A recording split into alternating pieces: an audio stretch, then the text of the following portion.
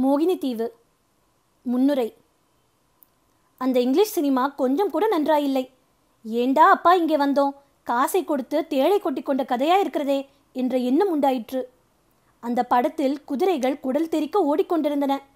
ஒரு மனிதனும் இன்னொரு மனிதனும் கத்தி சண்டை போட்டார்கள். ஒரு யுவனும் ஒரு யுவதியும் காதல் புரிந்தார்கள்.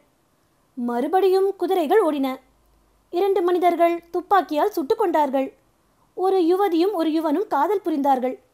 குதிரைகள் எவ்வளவு வேகமாக ஓடினாலும் படம் மட்டும் மெல்ல நகர்ந்து கொண்டிருந்தது.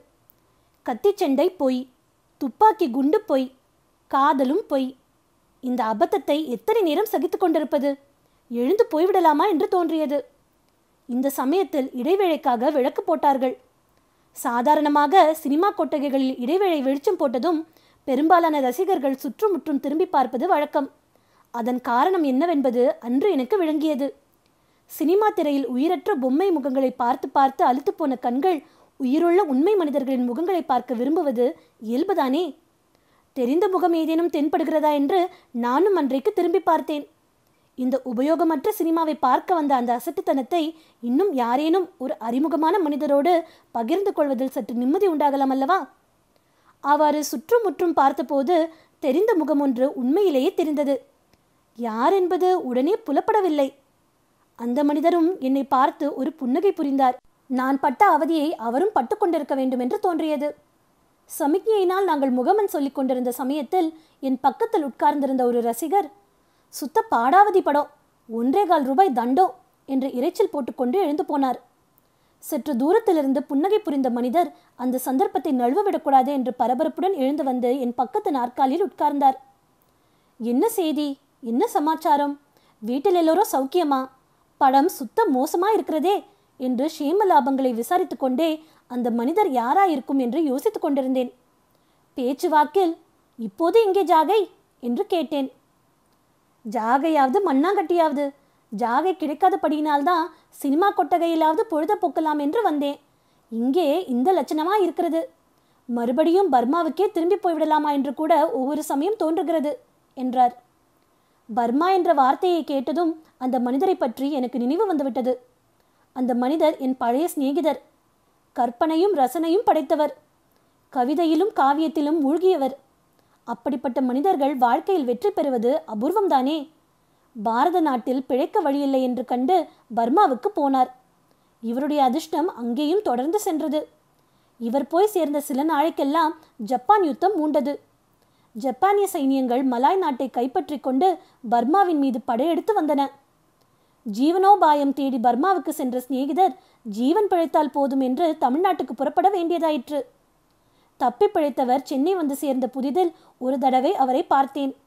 அந்த சமயம் சென்னை நகரை காலி செய்துவிட்டு சென்னை வாசிகள் ஓடிக்கொண்டிருந்த சமயம். ஆகையால் அப்போது அவரிடம் அதிகம் பேசுவதற்கு முடியவில்லை. அன்று பிரிந்தவரை இன்றைக்கு சினிமா கொட்டகையில் பார்த்தேன். வாழ்க சினிமா என்று வாழ்த்தினேன். ஏனெனில் பாஸ்கர கவிராயரிடம் பேசிக் கொண்டிருப்பதில் எனக்கு மிக்க பிரியம் உண்டு. கவிதா லோகத்தில் அடிக்கடி சஞ்சரித்துக் கொண்டிருந்தவராதலால் அவருக்கு கவிராயர் என்ற பட்டம் நண்பர் குழாத்தில் அளிக்கப்பட்டிருந்தது. நீங்கள் அதிர்ஷ்டசாலி மகா யுத்தத்தின் மிக முக்கியமான அரங்கம் ஒன்றில் தாங்கள் யுத்தம் நடந்த காலத்தில் இருந்தீர்கள் அல்லவா? ஜப்பானிய விமானங்கள் வெடிகுண்டுகள் பீரங்கி வேட்டுகள் இவற்றின் சத்தத்தையெல்லாம் உண்மையாகவே கேட்டிருப்பீர்கள் அல்லவா? நாங்கள் அதையெல்லாம் சினிமாவில் பார்த்து கேட்பதோடு திருப்தி அடைய வேண்டியிருக்கிறது. உங்கள் அதிர்ஷ்டமே அதிர்ஷ்டம் என்றேன் நான்.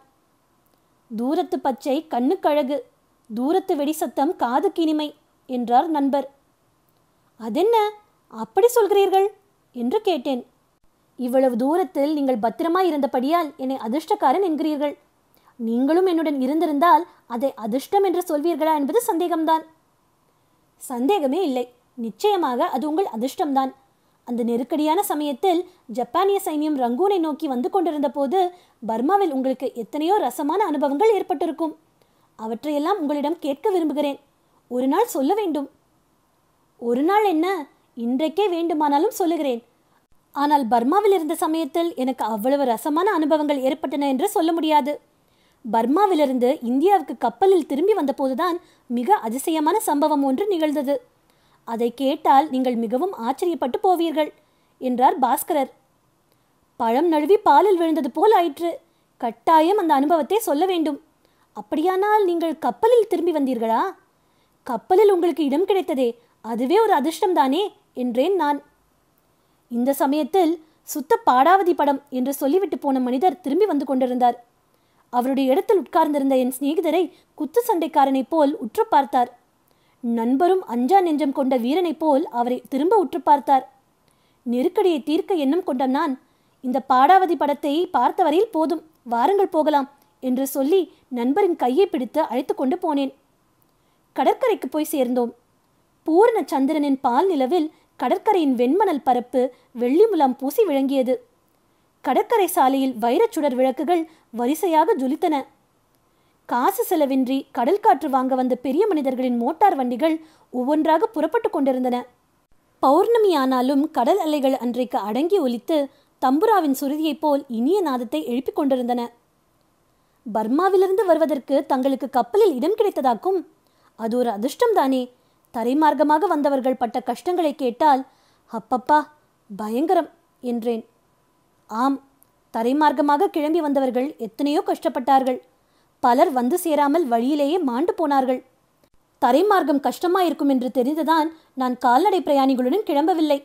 கப்பலில் இடம்பெறுவதற்கு பெரும் பிரயத்தனம் செய்தேன். கடைசியில் தூரத்தில் ஜப்பான் பீரங்கி குண்டுகளின் சத்தம் கேட்கத் தொடங்கிய நேரத்தில் ரங்கூன் துறைமுகத்திலிருந்து கிளம்பிய கப்பல் ஒன்றில் எனக்கு இடம் கிடைத்தது. அந்த வரைக்கும் நான் அதிர்ஷ்டசாலிதான் என்றார் நண்பர். மேலும் நான் தூண்டி கேட்டதின் பேரில் பாஸ்கர கவிராயர் அந்த கப்பல் பிரயாண கதையை விவரமாக கூறத் தொடங்கினார்.